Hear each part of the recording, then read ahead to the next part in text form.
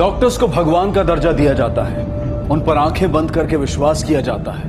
अपनों को उनके हवाले किया जाता है इस उम्मीद के साथ कि वो उनका सही इलाज करेंगे और उनकी सेहत और जान के साथ कोई खिलवाड़ नहीं करेंगे डॉक्टर सिंह श्रेया की बीमारी में कॉम्प्लिकेशन सिर्फ़ इसलिए पैदा कर रहे थे क्योंकि उनके जहन की गंदगी उनके प्रोफेशन पर हावी हो रही थी। श्रेया की शारीरिक बीमारियों के लिए तो दवाएँ हैं, लेकिन डॉक्टर सिंह जैसे लोगों का मानसिक मर्ज लाइलाज है। इस मर्ज में उन्हें किसी की जान लेने तक में कोई संकोच नहीं होता। ऐसे लोग अपनी हरकतों से कभी बाज नहीं आते। उन्हें मरीज़ की ज़िंदगी और मौत से कोई सरोकार नहीं होता।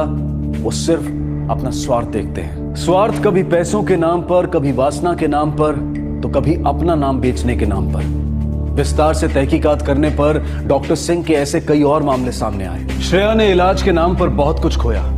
उसका मानसिक संतुलन सुधरने में न जाने कितना वक्त लगे। कीर्ति ने मौके की नजाकत समझी पर शायद देर से।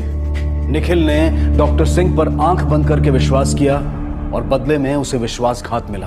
बात बिल्कुल साफ़ है। हमें हर जगह सतर्क रहना होगा।